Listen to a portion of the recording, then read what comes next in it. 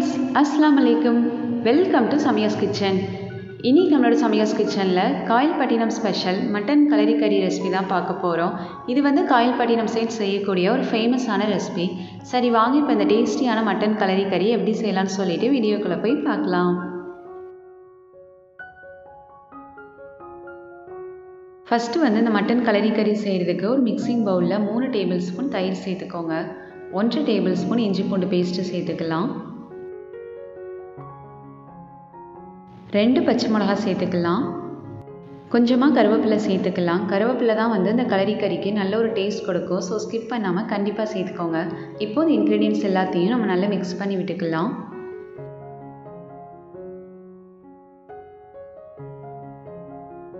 இந்த மாதிரி இது நல்லா மிக்ஸ் பண்ணி விட்டதுக்கப்புறமா இதை எடுத்து நம்ம தனியாக வச்சுக்கலாம்.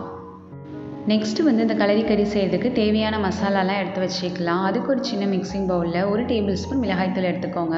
உங்களுக்கு காரம் கொஞ்சம் அதிகமாக வேணும்னா மிளகாய்த்தூள் எக்ஸ்ட்ராவாக எடுத்துக்கோங்க. ஒரு டீஸ்பூன் மல்லித்தூள் சேர்த்துக்கலாம். இதுக்கு வந்து மல்லித்தூள் கம்மியாக தான் சேர்க்கணும். ஒரு டீஸ்பூன் மஞ்சள் தூள் எடுத்துக்கோங்க. மஞ்சள் தூள் வந்து கொஞ்சம் அதிகமாக சேர்த்துக்கோங்க. அப்போ தான் வந்து இந்த களரி கறிக்கு நல்ல ஒரு கலர் கிடைக்கும். ஒரு டீஸ்பூன் ஜீரகத்தூள் எடுத்துக்கலாம். ஒரு டீஸ்பூன் பெருஞ்சீரகத்தூள் எடுத்துக்கோங்க. இவ்வளோ தான் வந்து இந்த கலரிக்கறி செய்கிறதுக்கு செய்யறதுக்கு தேவையான மசாலா. இதையும் எடுத்து நம்ம தனியாக வச்சுக்கலாம். இப்போ நம்ம இந்த கலரிக்கறி செய்கிறதுக்கு ஸ்டார்ட் பண்ணிடலாம். ஸோ கலரிக்கறி செய்கிறதுக்கு ஃபஸ்ட்டு ஸ்டவ் ஆன் பண்ணிவிட்டு ஒரு பேன் ஹீட் பண்ணிக்கோங்க. பேன் ஹீட் ஆனதும் இதில் ஹண்ட்ரட் எம்எல் எண்ணெய் சேர்த்துக்கலாம். ஐம்பது கிராம் நெய் சேர்த்துக்கோங்க. இந்த கலரிக்கறிக்கு வந்து எண்ணெய் நெய் கொஞ்சம் அதிகமாக தான் சேர்க்கணும். அப்போ தான் இந்த கலரிக்கறி வந்து நல்ல டேஸ்ட்டாக இருக்கும். எண்ணெய் நெய் கொஞ்சம் நல்லா சூடானதுக்கு அப்புறமா இதில் வந்து ரெண்டு பீஸ் பட்டை அஞ்சு ஏலக்காய் அஞ்சு கிராம்பு சேர்த்துக்கோங்க. பட்டை ஏலக்காய் கிராம்பு எல்லாமே கொஞ்சம் நல்லா பொரிஞ்சதும் இதில் வந்து கட் பண்ணி வச்சுருக்க ஒரு பெரிய வெங்காயம் சேர்த்துக்கலாம். வெங்காயம் சேர்த்ததுக்கப்புறமா அந்த இந்த வெங்காயம் வந்து கொஞ்சம் லைட் கோல்டன் ப்ரௌன் கலர் வர வரைக்கும் நம்ம ஃப்ரை பண்ணி விட்டுக்கலாம்.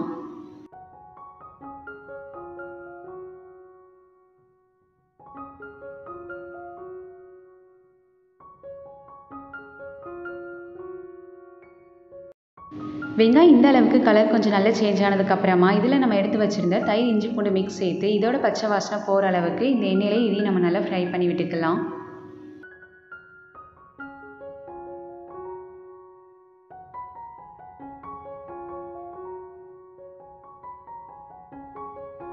இந்த தயிர் மிக்ஸோட பச்சை வாசனையெல்லாம் போனதுக்கப்புறமா இதில் வந்து நம்ம க்ளீன் பண்ணி வச்சுருக்க மட்டன் அரை கிலோ சேர்த்துக்கலாம்.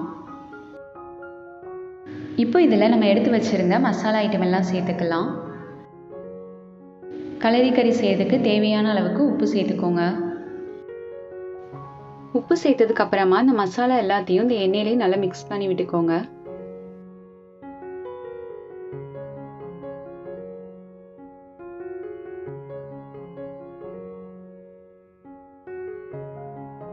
மசாலா எல்லாத்தையும் நல்லா மிக்ஸ் பண்ணி விட்டதுக்கு அப்புறமா இது கூட வந்து நம்ம கட் பண்ணி வச்சிருக்க ஒரு பெரிய வெங்காயம் சேர்த்துக்கலாம்.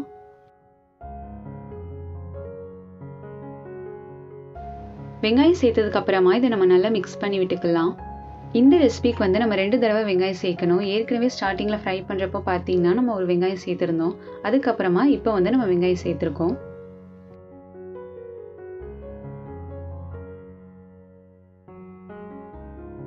இப்போ நம்ம பேன் க்ளோஸ் பண்ணிவிட்டு இந்த மசாலாலேருந்து எண்ணெய் கொஞ்சம் நல்லா பிரிஞ்சு வரணுங்கிறதுக்காக இதை ஒரு அஞ்சு நிமிஷம் ஸ்டவ் மீடியம் ஃப்ளேமில் வச்சு குக் பண்ணிக்கலாம். இப்போ ஒரு அஞ்சு நிமிஷம் ஆயிருக்கு. நம்ம ஓப்பன் பண்ணி பார்க்கலாம். பாருங்கள் மசாலாலேருந்து எண்ணெய் நல்லா பிரிஞ்சு வந்திருக்கு. இந்த ஸ்டேஜில் இது கூட நம்ம கலரி கறி செய்கிறதுக்கு தேவையான அளவுக்கு தண்ணி சேர்த்துக்கலாம். தண்ணி சேர்த்ததுக்கப்புறமா இதை ஒரு வாட்டி நல்லா மிக்ஸ் பண்ணி விட்டுக்கோங்க.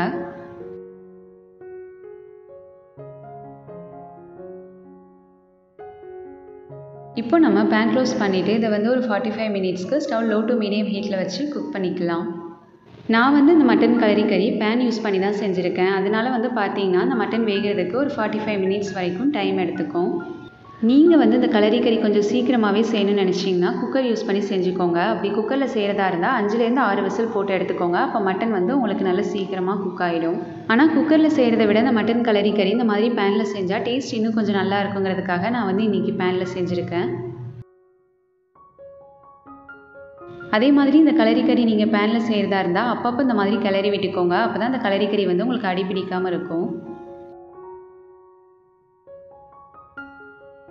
இப்போ ஒரு ஃபார்ட்டி ஃபைவ் மினிட்ஸ் ஆகுது. அந்த கலரி கறி எப்படி வந்திருக்குன்னு சொல்லிட்டு நம்ம ஓப்பன் பண்ணி பார்க்கலாம்.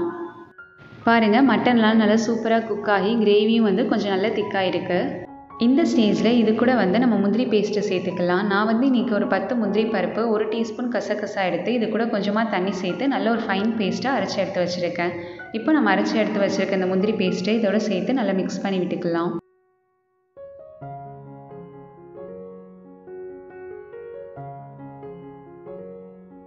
இந்த மாதிரி நல்லா மிக்ஸ் பண்ணி விட்டதுக்கப்புறமா இது கூட வந்து கொஞ்சமாக புளிப்புக்காக ஒரே ஒரு பீஸ் மாங்காய் சேர்த்துக்கலாம். மாங்காய் வந்து ரொம்ப சேர்க்காதீங்க. ஒரே ஒரு பீஸ் மட்டும் சேர்த்தா போதும். இப்போ நம்ம மறுபடியும் பேன் க்ளோஸ் பண்ணிவிட்டு இது வந்து ஒரு ஃபைவ் மினிட்ஸ்க்கு ஸ்டவ் மீடியம் ஃப்ளேமில் வச்சு குக் பண்ணிக்கலாம். இப்போ ஒரு ஃபைவ் மினிட்ஸ் ஆகுது. நம்ம ஓப்பன் பண்ணி பார்க்கலாம். ஃபைனலாக இது கூட கொஞ்சமாக கொத்தமல்லி தலை சேர்த்து நல்லா மிக்ஸ் பண்ணி விட்டுக்கோங்க. அவ்வளோதான் நம்மளோட டேஸ்டியான மட்டன் கலரி கறி சூப்பராக ரெடி ஆயிடுச்சு. ஃப்ளேம் சுவிட்ச் ஆஃப் பண்ணிவிட்டு அதை நம்ம சூடாக சர்வ் பண்ணிக்கலாம். இன்றைக்கி வந்து நம்மளோட சமிகாஸ் கிச்சனில் ரொம்ப ரொம்ப டேஸ்டியான மட்டன் கலரி கறி ரெசிபி தான் பார்த்தோம். இது வந்து white rice ghee rice chapati parotta எல்லாத்துக்குமே ஏதோ ஒரு சூப்பரான ஷைடிஸ் இதோட டேஸ்ட்டுமே வந்து பார்த்தீங்கன்னா ரொம்ப ரொம்ப சூப்பராக இருந்துச்சு. ஸோ கண்டிப்பாக இது நீங்கள் ஒரு தடவையாவது ட்ரை பண்ணி பாருங்கள் ட்ரை பண்ணி பார்த்துட்டு இது எப்படி இருந்துச்சுன்னு எனக்கு கமெண்ட்ஸில் சொல்லுங்கள் அண்ட் என்னோட இந்த வீடியோ உங்களுக்கு பிடிச்சிருந்துச்சுன்னா என்னோடய சேனலை லைக் பண்ணுங்கள் கமெண்ட் பண்ணுங்கள் ஷேர் பண்ணுங்கள் அண்ட் மறக்காமல் சப்ஸ்கிரைப் பண்ணிக்கோங்க. பக்கத்தில் இருக்கக்கூடிய பெல் ஐக்கானையும் கிளிக் பண்ணிக்கோங்க. தேங்க்ஸ் ஃபார் வாட்சிங் பை